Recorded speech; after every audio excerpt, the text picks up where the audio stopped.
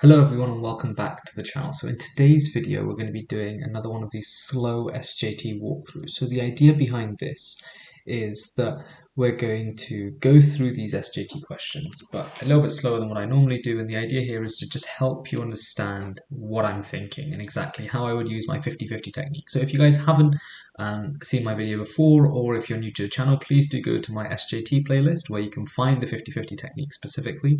Um, and there you'll be able to, if you watch that video first and come back to this, this will make more sense. Okay, so let's have a go at this. So a busy clinician witnesses a receptionist in a patient waiting area trying to deal with an angry patient. The patient is shouting at the receptionist because he has been waiting for over an hour. The receptionist looks shocked by the patient's behavior and asks him to sit down. The patient slams his hand on the, recep the reception desk and continues shouting.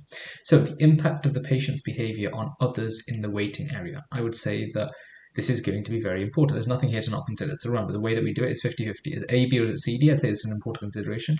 Is there something to not consider here? Not really. This is really, really important. So that's why I would say it's A. Okay?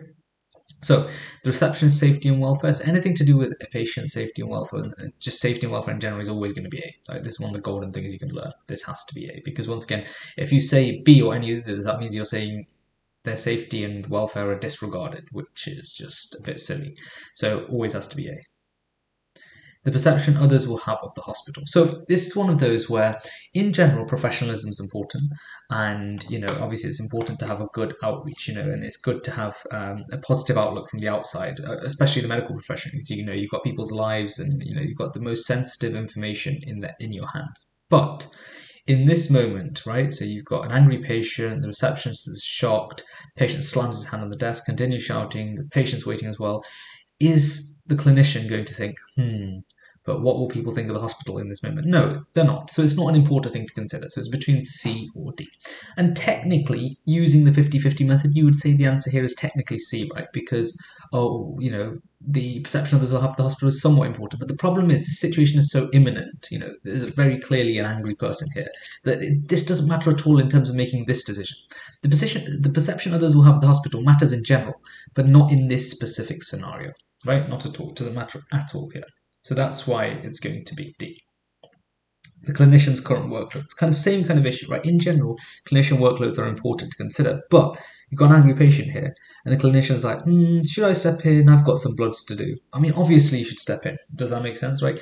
Yes, you've got things to do. Everyone has things to do, but the point here is you've got to prioritize. Okay, if you see, I don't know, a baby in the first floor of a burning building and that's just about to fall down or jump or whatever it might be, you know, you're not going to think, hmm, I do have to get to work in five minutes, right? Like, you know, things can wait. So the idea here is the answer here is 100% going to be um, D. Like it really doesn't matter. If there's a, problem in front of you, that's what matters. Like there's nothing to consider here.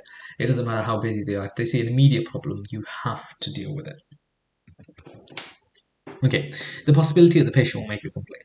So does that really matter? So because if it did, so this is sometimes you have to kind of you can think about opposite scenarios as well. So if you said that this is one of A or B, or even C, I guess that means you're kind of saying that your like your actions are dependent on the outcome right so that's kind of saying that like you are acting so the patient doesn't make a complaint but you shouldn't act like that you should act to do the right thing not so you don't get fired or sued or get a warning against you does that make sense so the possibility the patient will make a complaint doesn't matter at all so it's not going to be A or B.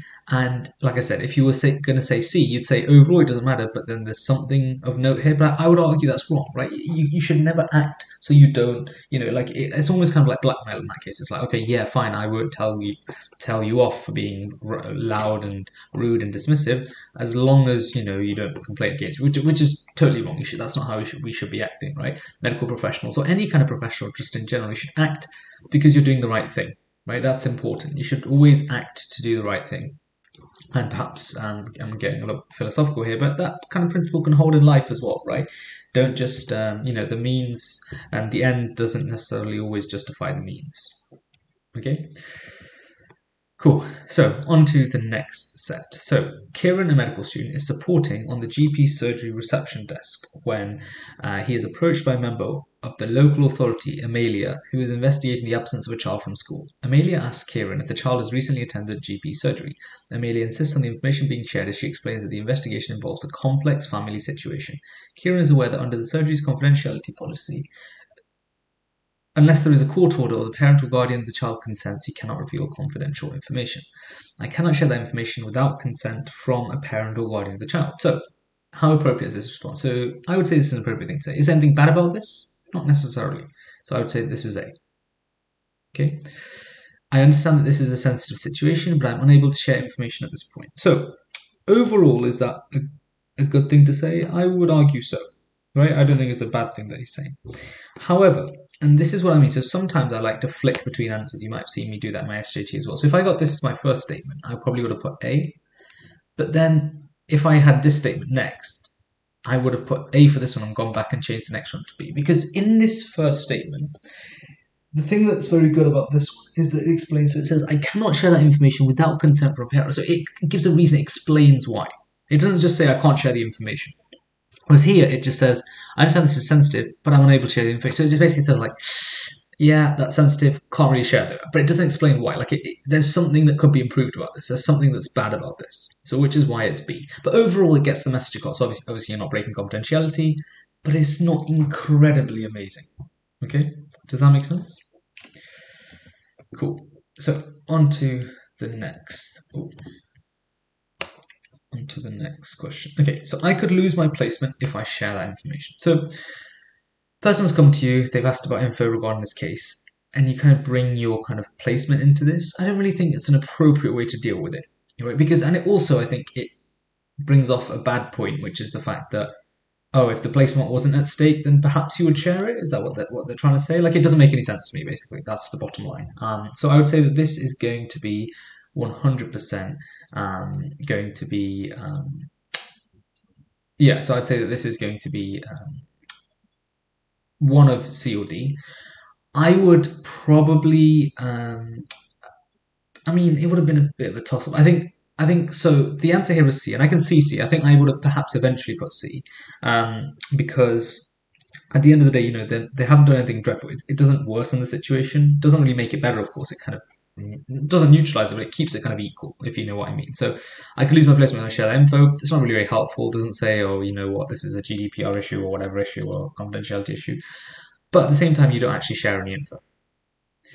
I could ask someone more senior how I might be able to get that information. So I'll be honest with you, I did not get the answer they got for this one, but I can see where they're coming from. So for this question, I would probably have put B or C if anything, right? Because you know you're I would have said that it's appropriate because you're going to go to someone senior, so you're recognizing, okay, you know what, I might not necessarily be able to. Um, this might be out of my capacity, whatever. But the problem is that it leads the person on because it says, I might ask someone more senior, how am I be able to get that info? So it kind of says, okay, you know what, I can get that info and I can give it to you.